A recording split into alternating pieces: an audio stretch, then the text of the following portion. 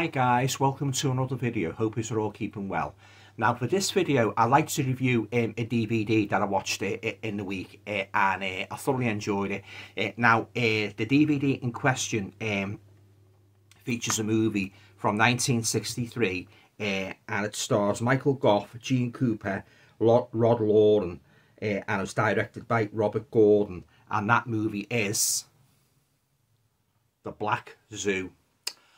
Okay then guys, um, as per usual, um, before I say anything further about the movie and giving me thoughts on the storyline as a whole, I'll just read you the synopsis on the back of this DVD, just in case you're not familiar um, with this movie. Right, so Michael Gough goes animal crackers in a ferocious tale of beastly horror. Somebody's been watching Marx Brothers movie. The most savage animal in a garden of beasts, animal worship cultist and private zoo owner Michael Conrad, played by Michael Gough was trained as lions well, uh, sicking the big cats, big cats, setting the big cats on any fool who dares get in his way. First it was a snoopy secretary, then a scheming realtor, but only when his unhappy wife, uh, played by Jeanne Cooper, runs off with his beloved chimps, does Conrad unleash his inner beast, and the fear, and the fear really flies. I don't know who writes these synopsises. Now, shot by Academy Award-winning cinematographer Floyd Crosby on a soundstage stocked by famed animal behaviourist and marine world creator Ralph, Ralph Helfer, Black Zoo is the third and final collaboration of Gough, who later played Alfred the Butler in four Batman movies, and producer Herman Cohen uh, directed Horrors at the Black Museum and Konga, a furious last trip to the mall.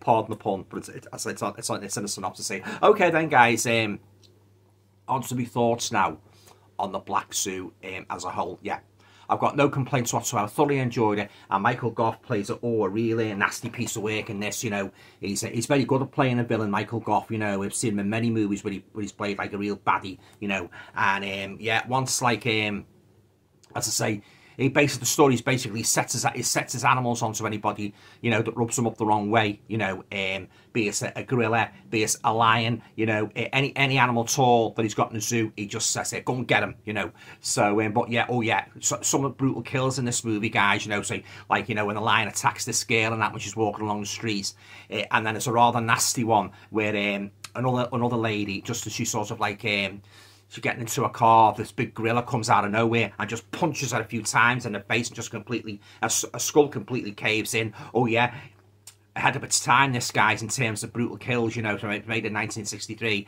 Um, but um, I wouldn't say, like, it's not really, don't expect to, to go in this movie, don't expect to go into this movie expecting loads of uh, blood and gore because you won't get it. It is mild uh, blood, you know, but it, the killings are brutal, you know, uh, and yeah, as like where he sets the animals on people, like you know, he, he hates and that, you know, and there's one particular person in it. Um, this smarmy businessman. He comes along like with a proposition. He Basically, wants to sort of like he basically wants Michael Gough to sell up, you know, uh, because he wants to expand and expand land and that, you know, greedy property developer.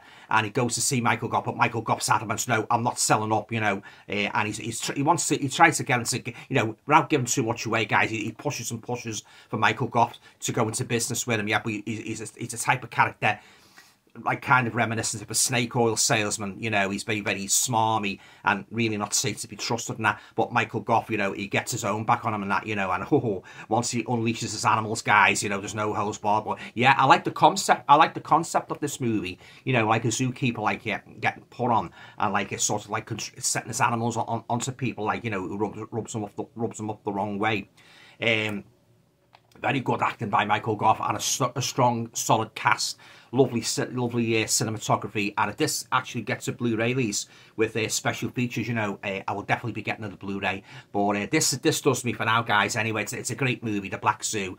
Um, and I hadn't heard of it. Like, I'd, I didn't even know Michael Gough had made a movie called The Black Zoo until um, I was watching one of the... Um, was it one of the YouTube uh, videos and he talked about Michael Gough or one of the extras on one of me Blu-rays or DVDs, and he mentioned this movie called The Black Zoo. So instantly, my curiosity was piqued. I thought, oh, that sounds all right. The Black Zoo, I think I'll get that. Oh, but I wasn't disappointed, guys. This is a great movie, you know. Uh, but you've got to like your 1960s um, British horror thrillers to get the derived you know, to derive the maximum enjoyment out of the Black Zoo. But I loved it. It was a great movie, you know. And uh, this guy here, the help, is helping him and that, he, he can't speak. He feels sorry for him and that, you know. So he's, but there's kind of a twist. I won't reveal what the twist this guy's involved in this. Uh, this uh, this um, guy, you know, um, but he, he, goes along with Michael Gough and that, you know, he's sort of like Michael Gough basically bullies into, you know, clearing out the cages and that, you know, and of course, like anybody, you know, anybody gets on the wrong side of him, throw him into the lion's cage and that. Oh, it's very good, this guy's, it, it's really good, it's a, it's a great story, you know, and um, if you if you like Michael Gough and you haven't got this in your Michael Gough collection, I highly recommend that you get yourself a copy of, of The Black Zoo. I loved it, uh, and I'm going to be watching it again uh, very, very soon. Um, unfortunately, guys, there's no um, this is just a bare bones release. It's, it's got it's got no um, extras on it.